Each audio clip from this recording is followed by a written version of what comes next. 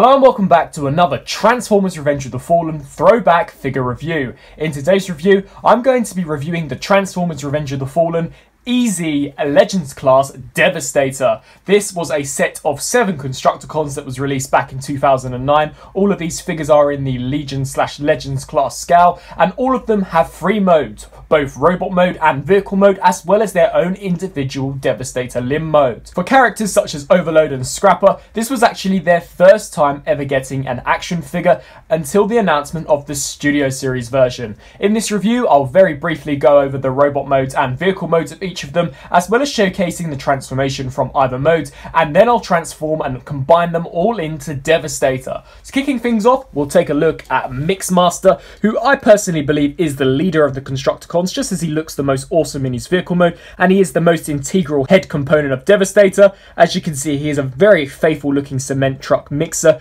Considering his size, he definitely has got loads of detail. I love the little Decepticon insignias on the cylindrical section at the top with this really nice silver paint app going all the way around the base. We've got a Decepticon purple paint app for the windows of the front of the cab, as well as some nice detailing such as the lights as well as the grille section, and all of the wheels can in fact roll on really nice pin joints. You can also make out some details such as a ladder, as well as various other cement mixer components of obviously where the cement would pour out and pour into these into whatever it was going into. Let's get this figure transformed from his alt form into his robot mode. To begin with, I haven't transformed these figures in some time, so please do excuse me if I am rather rusty on the transformation. I do believe that it did go somewhat like this. I believe that this whole section then spins around and snaps into place. What you're then supposed to do is bring these arms out and then this whole section here is supposed to rotate around to the back and there you've got the arms of Devastator. These sections here are on ball joints so you can bring those around if you so choose as well and then bring these around also and just have those rest along the arms and then fold down the legs. This section here unfortunately just hung out on the back so you do have Devastator's head as the bum of Mixmaster which is quite an interesting look. But here we have Mixmaster in his robot mode and considering his minute size I definitely think that Hasbro did quite a good job of replicating his appearance from the Revenge of the Fallen movie. As you can see the cement mixer does split up into the four components on the shoulders and on the sides of the arm which is very accurate. The head sculpt is slightly off, it doesn't look like what we see in the movie and the paint apps on my eyes are slightly dodgy dodgy, but you can see that he does have orange paint apps for the eyes. There's no detailing of sorts in the chest or around the figure whatsoever. He is incredibly basic, but you can pick out some detailings as fingers on either side of the hands in order to give some definition to the sculpt. So a really cool, nice looking Mixmaster. In terms of articulation, these sections are on hinge joints, and I do believe you're supposed to snap them together for this mode as well, just so that you can have full range of motion of the ball joints for the elbow joints, and the legs are also on ball joints as well. So that that just about wraps it up for Mixmaster. Now transforming this figure into the Devastator head mode can be rather fiddly due to all of the panels. I believe that you're supposed to reverse these and have them sit along this section just like so. What you can then do is take this whole piece here and bring this all the way around so that the head is now here. You can bring these pieces together and tab those in and then it's just a matter of lining all of this up at the back. So tab that into place and the head just rests there just like so. And then with this whole section here, I do believe that these are just supposed to hang out on the back, just like that for when you actually clip him in. But there is Mixmaster converted into Devastator's head. The next figure we'll take a look at is the Decepticon Demolisher slash Scavenger. And as you can see, I really think that this figure has also been detailed incredibly well and definitely resembles what we saw in the movie. He has four wheels, these two smaller ones, and then the two massive ones of the robot mode combined into this rather larger one. And it, this to me really resembles what we're going to be seeing on the Studio Series version. He does have some articulation such as this hinge here for the scoop and as you can see it's been given a really nice white paint app in order to make it very authentic looking. We've got some Decepticon insignias as well as some white stripes on either side of the vehicle mode. We've got some nice detailings in the interior of the treads and we can also pick out where the cockpit section would be with a door and a window also picked out in a white paint app. In order to convert this into Demolisher slash Scavenger, I've got to be rather transparent and say it's been a very long time since I've converted this, so I do believe I'll probably be fairly rusty on the conversion of this, but I believe you pull these wheels out and then pull this out rotate these sections around just like so, and there you essentially have the arms and head. Then what you're supposed to do here is take one of these wheels, and they are on these joints that you're supposed to collapse down upon themselves just like so. And then do the same for this one as well and lift that one up and then lift this one down and I think that these sections are just supposed to sit out on the back just like so and there we essentially have Demolisher slash Scavenger in his really awesome looking robot mode. Now quite honestly I actually think that Scavenger is probably one of the strongest in terms of a robot mode. He really does resemble what we see in the movie and these two larger wheels can in fact roll which was something that was absent on the Voyager class version from Revenge of the Fallen. They were rather stiff on that figure or however on this Legends class they are actually extremely free roll As you can see, he's got a magnificent looking head sculpt, very insectoid in its design with yellow eyes and a really nice gunmetal silver for the main mouthpiece as well as the sides. We've also got some nice detailing for the arms here and once again you can utilize these hinges to move the arms and you can also utilize these joints here on mushroom joints in order to give him some arm articulation. So that's a really awesome looking figure. Now to convert him into the Devastator mode it is more or less this, however you're just going to want to fold the arms in just like so take these sections here and I do believe that you're going to want to have these pushing those out on both sides. You're just going to want to have these wheels grouped together and then perhaps bring those up. We can finalize this more when we actually get down to converting, but this will slide in. And I do believe that this is somewhat what it's supposed to look like. But once again, we'll take a detailed look at the transformation when we get into combining Devastator. The next figure I'm going to be taking a look at is the Decepticon Overload, a figure that we still haven't got a mainline release of yet. However, 2020 will hold a mainline release for this character. As you can see, he's a really elongated looking construction vehicle, and I think that this whole section here has been detailed really nicely. You've got the bed where obviously it would cart around all of the debris or perhaps components. You've got a Decepticon insignia at the top, and he's been cast in this really dark, very nice looking red plastic. It definitely does look very Decepticon-ish. And we've got the faux wheel as well as these two real rolling wheels, which can in fact roll on pins. To convert him into robot mode, it is rather simplistic. However, he's probably one of the more complex ones. You're going to want to pull out the arms, pull this section down just like so, and then come here and flip those out. What you're then going to want to do is take this here and just lift that up just like so.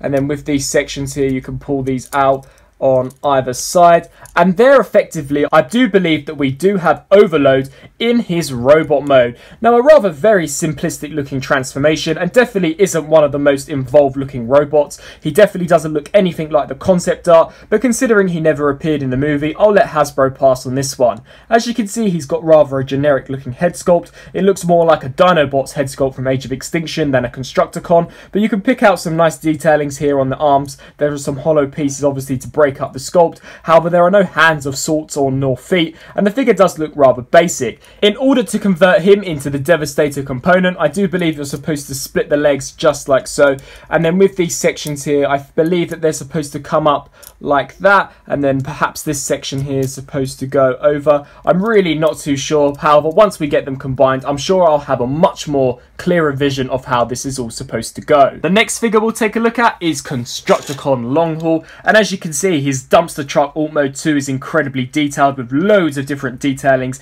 in the front section as well as on the side. We've got lovely Decepticon insignias on one side and then on the back we've got Hasbro and some legal information. On the back there really isn't much detail. You can pick out where the bed of this whole piece is. This doesn't articulate like the Voyager class version, however the wheels are on very thick pins and can roll incredibly well. This figure actually has one of the most superior looking robot modes out of all of the Constructicons, so just unpegging all of this and then taking this section here. This does detach as well, and then you're supposed to fold out the arms.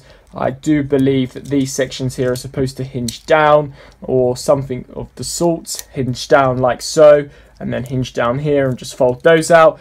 And then you can flip these toes out just like so and then the back section is just supposed to compress. And here we have Long Haul in his robot mode. Definitely the most accurate looking robot mode for me from this EZ collection. As you can see, he's got a phenomenal looking head sculpt with loads of detailing, particularly in the chest area. He really, really does look very, very impressive. In terms of articulation, he doesn't really have much. The legs can kick forwards and backwards, and that's roughly about it. And you can hinge the arms out to the sides. In order to, to convert him into his Devastator limb mode, you've got to essentially collapse these sections sections in just like so as this will become the base of the foot. Rotate this section around now and then what you're supposed to do is take this and fold that out to the back. Take these legs here and peg them together just like so. And there you have Devastator's leg fully transformed, ready for conversion. The next figure I'll be taking a look at is Decepticon Hightower. Now this was a character that only recently we got a deluxe class figure of, so this was the figure that's kept us company for the last 10 years. As you can see, it's a very interesting looking construction vehicle. I'm really quite surprised at the level of detailing of all of these different hydraulic sections that obviously hold this top crane into place, something which was unfortunately absent on the Studio Series version. This hook section is in fact articulated, and if you disengage this, you can actually move this back and forth and there are four caster wheels on the base allowing you to roll. In order to convert him, he is rather simple in terms of his transformation as well. You're essentially just meant to pull him out just like this and then collapse this section in. You're meant to then pull these legs out and these are really up to your own interpretation. You can have them out like so or I do believe that there is a way for you to maneuver them so that they are like this and then repeat the same process now for this side. And then you can take this whole section here and I do believe that this is supposed to clip onto the top. But there we have Hightower in his robot mode. Very obscure looking and not very reminiscent of his deluxe class self. But nevertheless I actually really like how this cage section is trapped under his head and you can pick out some details such as these small T-Rex-esque type of arms. I really like how these treads become the legs much like on the deluxe version. However in this case the crane is just hanging out on the back so it really isn't much of a weapon for Hightower to use at all. In order to convert him into his Devastator limb mode, you're supposed to take this section here and just open this up just like so. This does become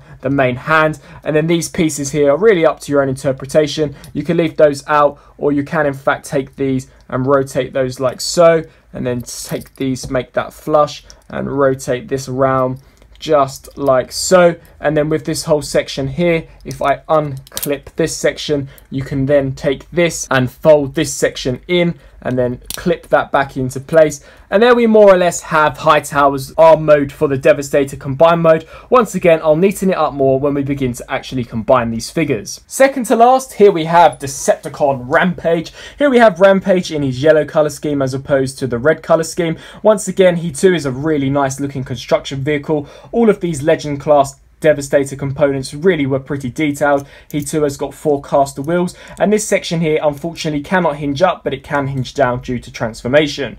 Talking of transformation you're effectively going to want to split this section here and then take these and then pull this whole section away from the body. So just pull this and loosen this all up just like so and then flip this upwards and then with this here you can pull these out pull this out as well. And then this whole section here can come down and then you're supposed to take this section here and flip this upwards and then this whole piece here you can kind of angle it so that it looks as if though he's got a jackhammer and there you effectively have Rampage in his robot mode. Once again, quite a nice looking Decepticon robot mode. You can see that the pogo stick here is here. However, you can flip these down if you want him to be more stable and pose him along the ground. The arms are pretty cool as well. You can hinge these pieces out in whatever way you so choose. And he actually has got a really nice looking head sculpt with some fantastic paint apps, particularly in the eyes. Now, in order to convert him, he does become the foot of Devastator. So you're just going to want to collapse this down just like so. This whole section here will hinge down and then you can pull this down as well. What you're supposed to do is take these pieces here and bits do pop off due to them being on ball joints so just snap that back into place. You're supposed to take these here and bring those down and around and repeat the same process now for this side and I do believe that these are supposed to just tab here for the knees but there you effectively have Devastator's left leg in its completed form. And then taking a look at the final figure, here we have Decepticon Scrapper. Now this is actually one of my favourite looking construction vehicles. There are so many nice detailing such as the steps that lead up here as well as the stairwell. We've got some nice mechanical components on the top as well as the blue cockpit. You can pick out this section which due to the ball joints they can in fact hinge up and down. He's got four pinned wheels which look really really nice and in order to convert him you just separate these pieces just like so once again I do apologize if the transformation does appear to be rather shoddy. It's been a very long time since I have converted this figure but then I do believe that you separate these sections here and pull those up pull the head back and then flip these toes around on both sides. And here we have Scrapper in his robot mode, looking really, really cool as well. Once again, we never got a deluxe class Scrapper in the Revenge of the Fallen toy line, so this was the only figure that we had for many, many years. As you can see, he's quite interesting in his design, particularly in these hands, and he's also got quite a sinister looking head sculpt. In order to convert him into his Devastator limb mode, I do believe that it is more or less having him in his vehicle mode. You're supposed to bring all of these components back together and then bring this down as well on both sides and stabbing those into place. And then I do believe that it is more or less something along the lines of this. Perhaps these sections are supposed to go up but I do believe that that is how the hand of Devastator is supposed to look. So without further ado, let's combine all of Devastator's components. And now bringing in all of the components for Devastator, we can really begin transforming him. To begin with, I want to take this section, which is supposed to take these pieces here and pull those in. And then I do believe that this whole section here is supposed to come forwards, just like so. And then with this section at the back, perhaps that you should pull this out. And then these are supposed to come down and then tab these back into place and then I do believe that that is how the torso area for Devastator is supposed to look, at least on overload. Then what we can do here is take long haul and peg his leg into place just like so. And then we can take Rampage and what we'll do here is take this and make sure that this joint here sits more flush. So take this here and plug this in also and make sure everything is aligned. And now what we can do is begin to see that I was completely wrong with the transformation. The foot is supposed to be out this way. And then with this section here, it's supposed to be brought round. And then this is supposed to be straightened out. Take this section here and then bring this forwards as well and tab these together and these become sort of the knee look for Devastator rotate this around now as well and then just collapse this on a hinge. And there we have Devastator's lower region basically fully transformed and then perhaps position him like this and try again to slide this all in. And that works a lot better. As you can see these wheels will snap into this back section. And I do believe now we can take this and actually peg that in there and it will just separate the wheels for a more transformed look. And then pull these out ensuring that these have been fully tucked under. And now what we can do is take Hightower and just plug him into place. There really is no official transformation for Hightower. You can really pose him around in whatever way you so choose. And taking Scrapper now, we can peg him in here as well. And once again, it is really up to your own interpretation on how you want the fingers displayed. And then we'll take the final component, which is of course Devastator's head. And then these two slots here will plug into these two tabs here. So just align this up just like so and snap that all into place. And then take these and wrap this around this cylindrical section. And there we more or less have the EZ Legends class Revenge of the Fallen Devastator completed in his fully transformed Devastator robot mode. So here we have the core robot mode and I've got to say that it looks absolutely fantastic. I have had a slight mess around and mistransformed Scrapper's arm ever so slightly just to give him more of a four-fingered look and I've tampered around with scrap metal slightly as well to make his look more cleaner to match what we see in the studio series but this is an incredibly detailed figure. As you can see the figure has got a fantastic looking head sculpt. It is very reminiscent of the Devastator design. We appear to have a silver wash over the grey and the green eyes and green mouth do look really really nice with some fantastic detailing such as teeth in there as well. I like how they've given it this subtle green hue in the centre section obviously simulate where the cement mixer would churn up anything that Devastator would inhale and taking a look at the back I really like how this all transforms and comes together as well.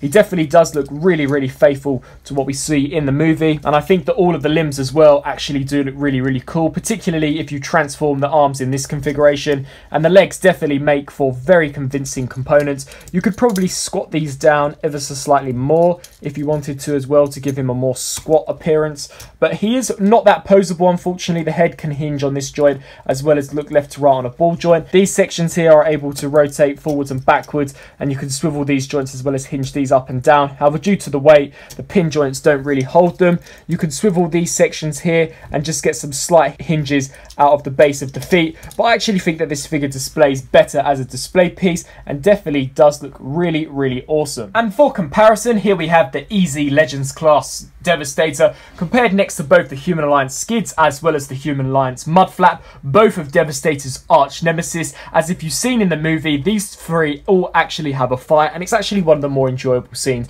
from the Revenge of the Fallen movie. As you can see, he is roughly the same size as Skids if you count this top cylindrical section. However, if you were to count a face to face, he comes to more of Skids' crutch, which if you've seen the movie, I'm sure Skids would definitely enjoy. And the same goes for Mudflap as well. He is roughly the same size as Mudflap, so really does scale more with your Legends class figures. I even would say he's probably even too small for those, but in terms of a look, I definitely think that he looks really, really cool, and he's definitely a really fun figure to have upon the shelf. So that was my throwback review on the Transformers Revenge of the Fallen EZ Legends class Devastator 7 Constructicons set. I really hope that you enjoyed this throwback review. I do apologise if some of the segments seem rather messy. As stated, this figure is 10 years old, so I do have to be rather cautious of the joints, not to push them too hard in case I break them. However, I hope that eventually I showed you how to transform this figure correctly. As you could tell, I think that the figure looks great in all three of these modes. I think he's got some really strong looking vehicle modes. Some of the robot modes are absolutely incredible for their minute size,